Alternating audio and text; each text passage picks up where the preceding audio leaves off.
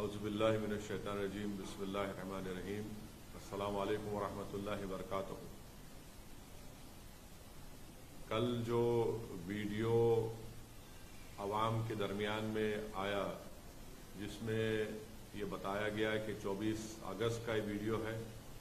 मुजफ्फरनगर के Neha public school और गाँव कुलबापुर का एक वीडियो है।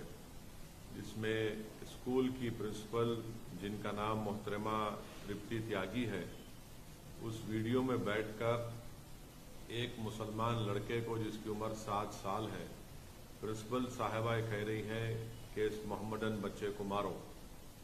और बारी बारी से आकर उसी क्लास के, उसके बच्चे स्कूल के, उस क्लासमेट्स आकर उस मुसलमान लड़के को थप्पड़ मारते हैं। तो मोहतरमा प्रिंसिपल साहिबा कहती हैं कि तुम उसको ज़ोर से मारो।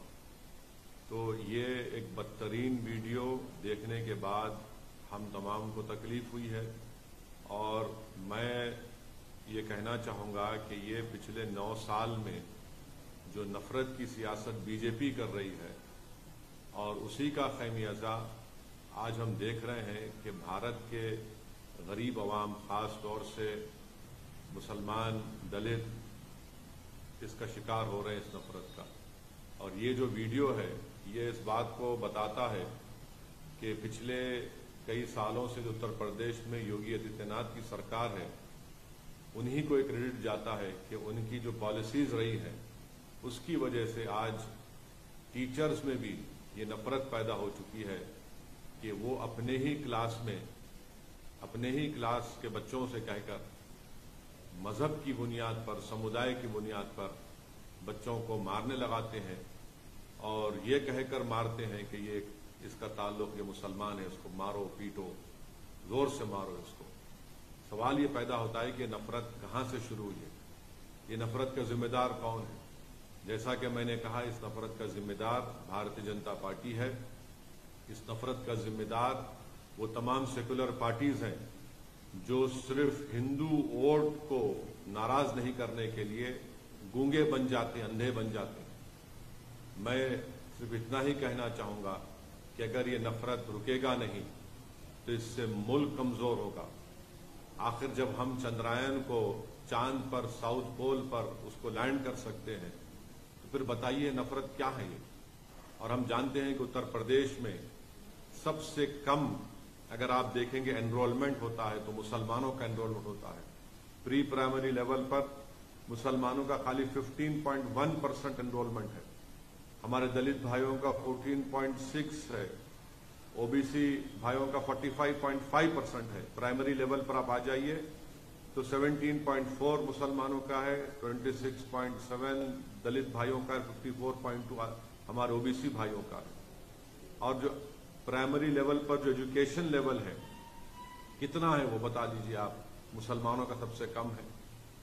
एजुकेशन मिडिल लेवल पर आप आ जाइए, मुसलमानों का 16.8 परसेंट है उत्तर प्रदेश में और जनरल पॉपुलेशन का 25.5 परसेंट है। तो इससे मालूम हो रहा है कि 74 परसेंट उत्तर प्रदेश के मुसलमान के पास कोई फॉर्मल एजुकेशन नहीं है। और उत्तर प्रदेश में सिर्फ़ 4.4 परसेंट मुसलमानों के पास यूनिवर्सिटी की डिग्री है।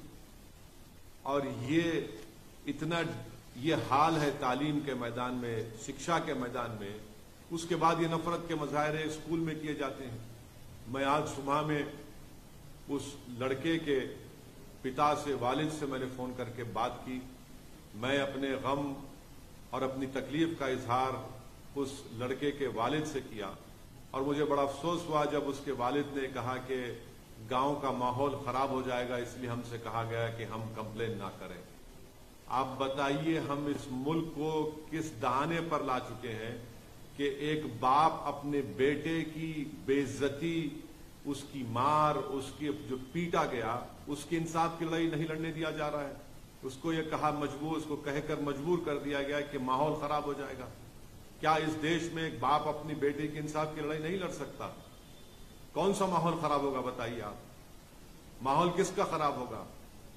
माहौल उन लोगों का खराब होगा जो नफरत फैला रहे हैं। आज एक बाप अपनी बेटे की इज़्ज़त की लड़ाई नहीं लड़ सकता। उसकी स्कूल में तालीम की ए, ए, उसको हासिल करने की लड़ाई नहीं लड़ सकता।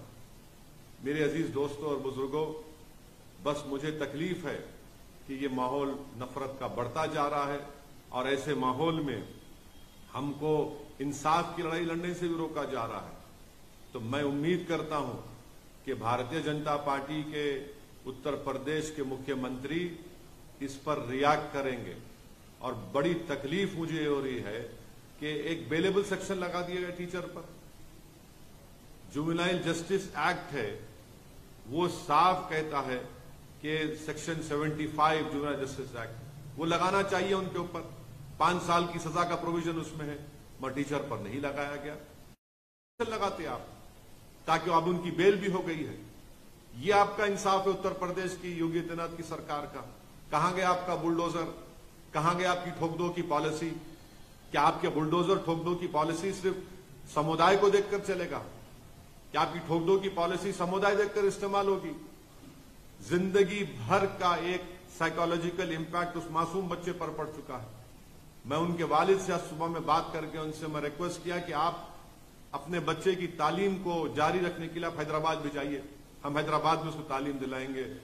तो उस वालिद ने मुझसे कहा कि ओसी साहब, आपका शुक्रिया। मर, मेरे बेटी की उम्र सात साल की है। आप अंदाज़ा लगाइए। जो कोई भी मेरी इस बात को सुन रहा है, सोचिए, आपके पेट में भी औलाद है। अल्लाह ने आपको भी औलाद दी है। चाहे हम हिंदू हो, मुसलमान हो, ईसाई हो, दलित हो, कुछ भी हो, अगर आपके बेटे से इस तरह का बर्ताव किया जाता, आपकी बेटी से इस तरह का बर्ताव किया जाता और उसका वीडियो पूरे देश में, पूरी दुनिया में वायरल हो जाता। आप कभी नींद की, आराम की नींद सो सकते हैं। हाँ वो लोग नींद की आराम की नींद सो सकते हैं जिनके दिलों में मुसलमानों की नफरत भरी हुई है। जिनके दिलों में इंसानियत नहीं है, जिनके दिलों में शैतानियत भरी हुई है। मुझे बड़ा अफसोस हुआ तकलीफ़ हो रही है कि उत्तर प्रदेश की सरकार ने उस प्रिंसिपल को बचाने के लिए, क्योंकि वो मुसलमान नहीं है, उन पर आपने बेलेबल सेक्शन लगा दिए मुझे 1930 का जर्मनी याद आ रहा है। जब 1930 के जर्मनी में यहूदी बच्चों से, छोटे मासूम बच्चों से, उनके हाथों से उस ब्लैक बोर्ड पर लिखा जाता कि तुम लिखो अपने हाथों से कि यहूदी जर्मनी के लिए बड़ा खतरा है, होशियार रहो। आज वही हाल भारत के मुसलमानों से किया जा रहा है। अब सिर्फ़ किस, क्या क्रिस्टल नाक मूवमेंट होना बाकी है? वही हाल पे हम उसी रविश पर चल रहे हैं। ये हमारी देश के लिए ठीक नहीं है। प्रधानमंत्री बड़ी बड़ी बातें करते हैं कि सबका साथ, सबका विकास, सबका विश्वास, सबका साथ। आप बताइए कौन सा विकास है? एक वर्दी पहनने वाला हथियार से नाम पूछकर कत्ल कर देता है। एक टीचर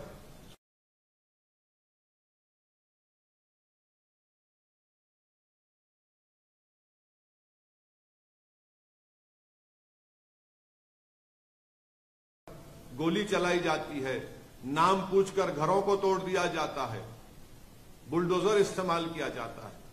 ये नफरत का खात्मा होना ज़रूरी है और मुझे उम्मीद है कि नफरत का खात्मा होगा।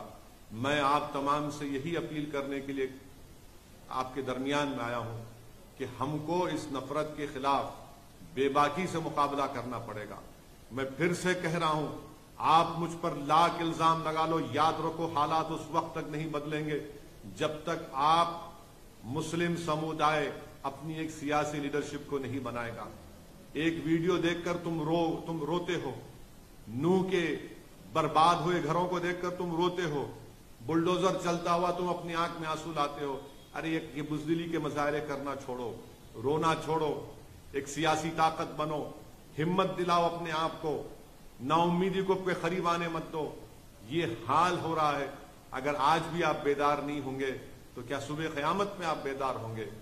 मैं उम्मीद करता हूँ कि आप लोग बेबाकी से अपनी औलाद को पढ़ाएँगे लिखाएँगे और बेखौफी किसको कहते हैं? आज हम देख रहे हैं कि उत्तर प्रदेश में एक अल्तमश नाम के बच्चे को टीचर के, के कहने पर मारा गया मगर हैदराबाद में। आज हैदराबाद में हैदराबाद पार्लियामेंट कॉन्स्टिट्युंसी में चंद्रायन गुंटा असेंबली सेगमेंट में, जिसके एमएलए अकबरुद्दीन ओवैसी है, उनकी नुमाइंदगी पर, उनके रिप्रेजेंटेशन पर, तेलंगाना की केसीआर की सरकार ने एक Telangana minority residential junior college बनाया। आपको जानकर खुशी होगी कि यहाँ पर आपकी एक सियासी ताकत है, एक लीडरशिप है। हमने ये Telangana minority research junior college बनवाया अकबरुद्दीन ओवैसी ने। यहाँ के इस इस रेजिडेंशियल माइनॉरिटी कॉलेज के पाँच बच्चे नीट क्वालिफाई करके उनको गवर्नमेंट के मेडिकल कॉलेज में एडमिशन मिला। आज दारुसलाम एमआईएम हेडक्वार्टर पर मैंने उन पाँचों बच्चों को बुलाया। आपको मालूम होकर जानकर खुशी होगी कि एक बच्चे का नाम गौतम राज है मुसलमान नहीं है। वेमलूवाड़ा का रहने वाला है कर, ओल्ड करीमनगर डिस्ट्रिक्ट का। और फिर ताहिर शरीफ है परवेज है जैनब है और मोहम्मद शरीफ है। इसमें से एक लड़के एक लड़के के वालिद तरकारी बेचते हैं। क्योंकि हमने उसको स्कूल में उसको मौका मिला, वो तालीम हासिल किया, तरकारी बेचने वाला एक लड़का आज एमबीबीएस करने जा रहा है। एक लड़का मुझसे कह रहा था कि उसके वालिद बीमार रहते हमेशा, बिस्तर पर फरीश है, उसको मौका मिला। हमने इन पाँचों को बुलाया। पाँचों को बुलाकर हमारे दारुसलाम चैरिटेबल ट्रस्ट से एक एक को पच्चीस हज़ार रुपए का चेक दिया और उनसे कहा कि बेटा, पाँच साल तुम तालीम हासिल करो। इन हमारी बेटियों से भी तालीम हासिल करो। डॉक्टर बनो। हम पाँच साल तुम्हारी मदद करेंगे, जो हमसे हो सकेगा, मगर तुम खूब काबिल बनो। ये फ़ायदा आप देखते हैं। अरे, लाख मुझ पर इल्ज़ाम लगा लो, मगर ये काम तो देखो। तुम लाख गाली दे दो टीआरएस को, केसीआर को सऊद्दीन ओवैसी को, अकबरुद्दीन ओवैसी को, मगर ये काम हमने करके दिखाया। कि गवर्नमेंट से हमने रेजिडेंशियल जूनियर कॉलेज बनाया। बारकस में वहाँ के पाँच गरीब परिवारों के बच्चे, जिसका नाम है गौतम राज है, ताहिर शरीफ है, मोहम्मद परवेज है, मोहम्मद शरीफ है, जैनब है।